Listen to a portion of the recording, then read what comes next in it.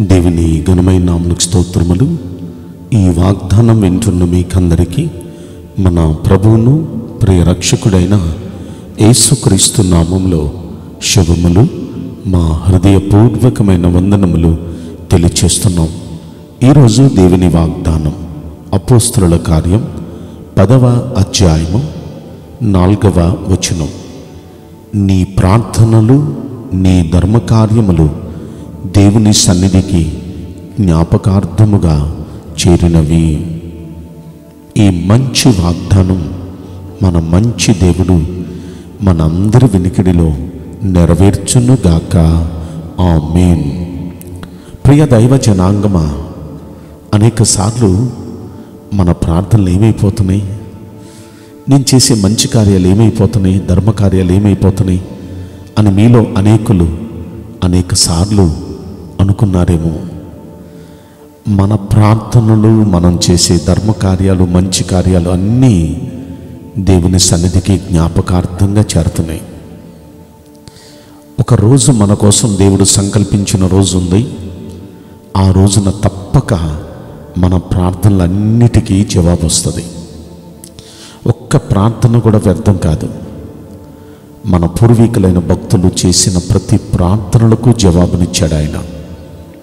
మన దేవుని పేరే ప్రార్థనలు ఆలకించువాడు. ఆయన మన ప్రార్థనలు ఆలకిస్తున్నారు. వాటిని జ్ఞాపకార్థంగా ఆయన దగ్గర ఉంచుకున్నారు.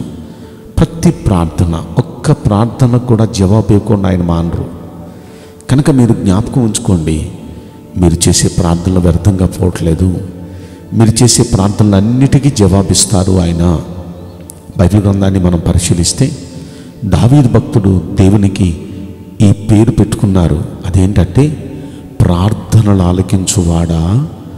సర్వ శరీరులు నీ ఎంతకు వచ్చేదరు అని. అంటే ఆయన ప్రార్థనలు ఆలకించేవాడు. ఎన్నోసార్లు దావీదుకు వచ్చిన కష్టాల్లో ప్రమాద పరిస్థితుల్లో భయంకరమైన మరణాపాయ పరిస్థితుల్లో అతడు చేసిన ప్రతి ప్రార్థనకు దేవుడు జవాబిస్తూ ఎప్పటికప్పుడు భయంకరమైన పరిస్థితి నుండి ఆయన తప్పిస్తూ వచ్చారు కదా? నిజంగా ఆయన ప్రార్థనలన్నిటికీ జవాబిచ్చారు. ఆయన శ్రమలన్నిటి నుండి దేవుడు ఆయన తప్పించారు. ఒకంత మనం ఆలోచిస్తే దావీదు మాత్రమే కాదు బైబిల్ గ్రంథంలో ఎందరో భక్తులు ఏలియా ప్రార్థించాడు. వర్షాన్ని ఆపాడు మూడున్నర సంవత్సరాలు. అతడు మరలా ప్రార్థిస్తే మరలా ఆకాశం వర్షం ఇచ్చింది భూమి తన ఫలం ఇచ్చింది అలాగే యహోషువ ప్రార్థించాడు. సూర్యుడిని చంద్రుడిని ఒక నాడెలన్నీ నిలిపివేశారు. యోర్ధాను నదిని ఎకరాశిగా నిలిపివేశారు. ఇలా ఒకటి కాదు ఎన్నో అద్భుతాలు. బైబిల్ గ్రంథంలో భక్తులు అందరూ చేసిన ప్రార్థనలు ఆలకించారు.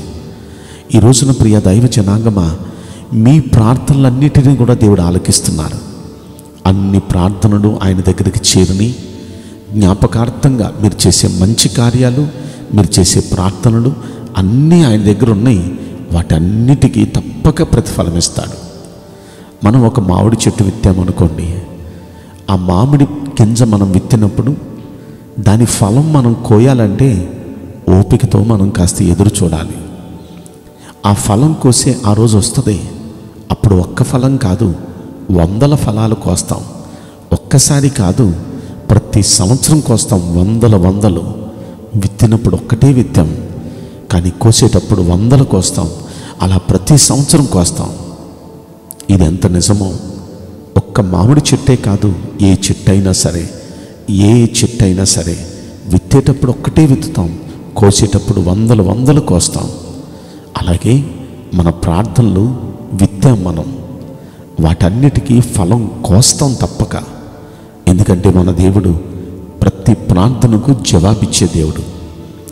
అసలు మనం దేవుడి దగ్గరికి వచ్చేటప్పుడు ఎలా రావాలి అంటే హెబ్రిల్కి రాసిన పత్రిక పదకొండవ వచ్చే ఆరో వచ్చంలో దేవుని యొద్దకు వచ్చువారు ఆయన ఉన్నాడు అనియు. తన్ను వెతుకు వారికి ఫలము దయచేయవడనియు. నమ్మవలెను కదా నమ్మకంతో ప్రార్థన చేయాలి. ఈయన ఉన్న దేవుడు ఆయన దగ్గర కోరితే కోరిన ప్రతి ప్రార్థనకు ఫలం ఇచ్చే దేవుడు అని నమ్మాలి. అలాంటి నమ్మికతో మనం ప్రార్థిస్తే ప్రతి ప్రార్థనకు ఆయన జవాబిస్తాడు. బైబిల్ గ్రంథంలో ఇలాంటి ఎన్నో ఉదాహరణలు ఉన్నాయి ఒక్కటి మీకు నేను చెప్తాను. యొబ్బేజు అనే వ్యక్తి ఉన్నాడు. ఆ యొబ్బేజ్ అనే వ్యక్తి పుట్టేటప్పుడు ఆ తల్లికి చాలా కష్టం కలిగింది. మరణం దగ్గరికి వెళ్ళొచ్చింది ఆ తల్లి. చాలా వేదన పడి కంది. కనుక ఆ పిల్లోడికి యొబ్బేజు అని పేరు పెట్టింది. అంటే వేదన పుత్రుడు అని. పెరిగి పెద్దోడైనప్పుడు ఆ పేరు సార్థకం అయిపోయింది అతనికి.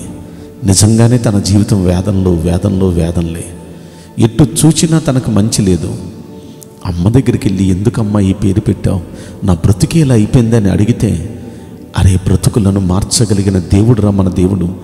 ఆయనకు మనం ప్రార్థన చేద్దామని ఆ తల్లి చెప్పింది. తల్లి ప్రార్థిస్తుంది. ఈ బేజు మనవి చేస్తున్నాడు దేవుని పాదాల దగ్గర. అయ్యా నా ప్రార్థన ఆలకించు. నా సరిహద్దులు విశాలపరచు నీ చేయి నాకు తోడుగా ఉంచు. దయచేసి కీడు రాకుండా దాని నుండి నన్ను తప్పించు. నిశ్చయంగా నన్ను ఆశీర్వదించు. యొబ్బేజు చేసిన ప్రార్థన దేవుడు ఆలకించాడు. యొబ్బేజు మనవి చేసిన దానిని యొబ్బేజుకు దేవుడు దయచేశాడు. ప్రియ దైవ జనాంగమా అలనాడు యొబ్బేజు అందరికంటే హీనుడిగా ఉన్నాడు తన సహోదరులందరికంటే. కానీ బైబిల్ గ్రంథంలో అక్కడే రాయబడి ఉంది అతని సహోదరులందరికంటే ఘనము పొందినవాడాయను. ఎక్కడ హీనుడిగా ఉన్నాడో అక్కడే దేవుడు కనపరిచాడు. ప్రార్థనలు ఆలకించాడు.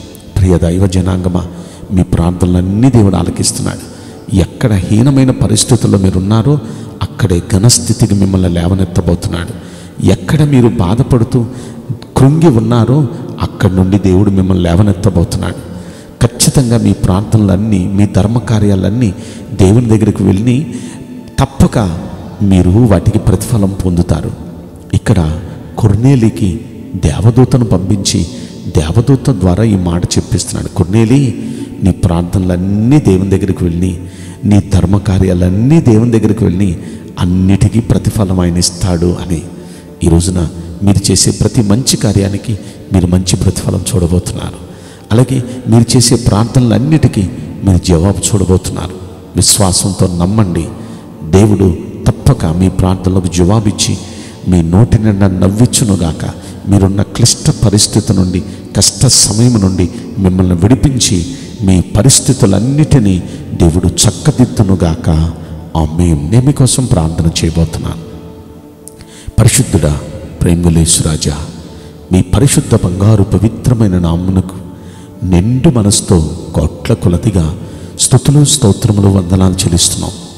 అయ్యా ఈరోజు ఎందరైతే ఈ వాగ్దానం వింటున్నారో వారి ప్రార్థనలన్నీ మీ చెంతకు చేరిని వారు చేసిన ధర్మకార్యాలన్నిటికీ కూడా మీ సన్నిధికి చేరిని అన్నిటికీ మీరు జవాబు ఇవ్వబోతున్నారు. నిశ్చయంగా ప్రతి వ్యక్తికి వారు కోరిన ప్రతిఫలం మీరు అనుగ్రహించి తృప్తిపరచండి. గొప్ప సమాధానం నెమ్మది ప్రతి జీవితానికి మీరు అనుగ్రహించి ఆశీర్వదించమని ఈ కొద్ది మనవులు నజురుడైన యేసుక్రీస్తు ప్రశస్తమైన నామంలో మిక్కిలి వినయముతో ప్రార్థించి బ్రతిమలాడి వేడుకుంటున్నాం ప్రియ పరలోక తండ్రి. Amen may God bless you all thank you